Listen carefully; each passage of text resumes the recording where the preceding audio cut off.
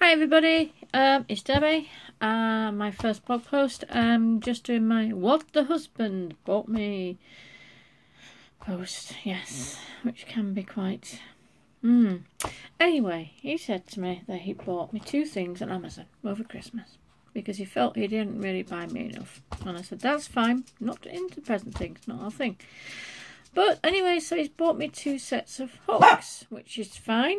Barney, shush now. That's Barney the sausage dog, by the way. You'll meet him later. And, um, yeah. What can I say, ladies? Bright pink. I don't do pink. I don't do pink at all.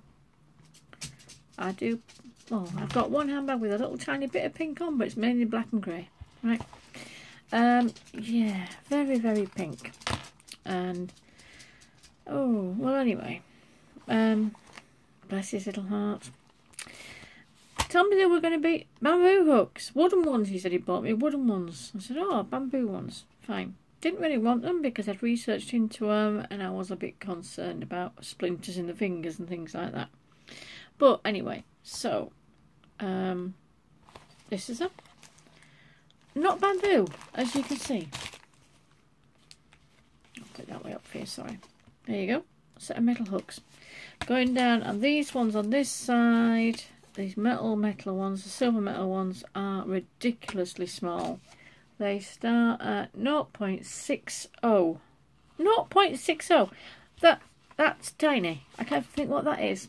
Up to 1.90. And then the colourful hooks go from a jazzy red little number in a 2.0, which I do like because they're embossed. Oh, it's a bit bendable. It's, yeah, a bit bendy on that one. But that is a very thin one, I suppose. 2.0 up to, oh, a lovely big chunky purple one. That's what we like to see. 6.5. I do do use the 6 hook quite a lot because um, I tend to double up double knitting. Especially with the recent blankets I've done with people. Oh, and tell you what, Mm, could be okay. It's got a nice little um, bag of bits, extra bits. Let's just see what's in here. Right, just, oh, it took a bit to do to tighten up. Oh, there's quite a few bits, oh, bit, bits and pieces everywhere flying. Uh, we have a ruler, a um, needle gauge, hook gauge, no idea what these little pink. What that little pink. It's like a cone. Yeah, no idea on that. Um, oh, two of them. Two of them. Don't know what they are. Um, measuring tape, always useful. Like to don't mind measuring. Oh, plastic darners. Wool needles. These are great, but I do tend to ruin them very quickly. I've learned because I pull through and it breaks the top. But at least I'm not paying them this time, so that's fine. Stitch counters, the good old-fashioned stitch row counter, rather, not stitch counter, row counters. Always like them. Couple of, um, oh, these are fancy. Actually, I quite like these. These are stitch holders. Um, they don't feel, they don't feel plasticky, but they don't, they're, oh, they're a good strength. Nice colours, blue and gold like that. Um, oh, markers. Oh, they're dreadful. oh, I think they're stitch markers. I don't know what the rings are for. So I'm not sure. I think they could be stitch markers, but I'm not totally sure. Um, oh, no, no, no. These are stitch markers. Oh, these are good.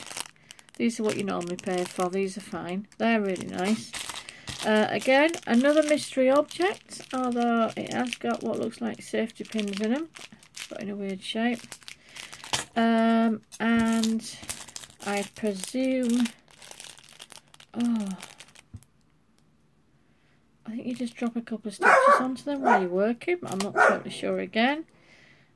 What would appear to be some sort of a thimble, but it feels like it's, oh, not nice metal That's cheap.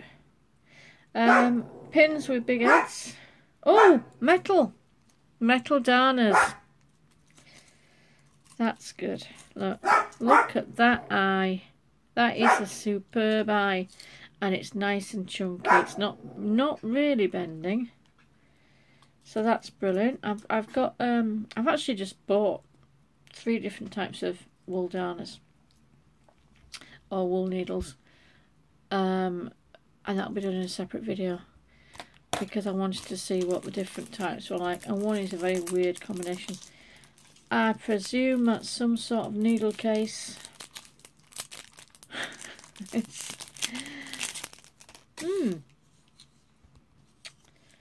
There is no description with it, so I'll have to go back on Amazon and see. oh goodness me. How do you flick it open there, I wonder? I could break this quite easily because I don't know what the hell I'm doing. I don't know where it is.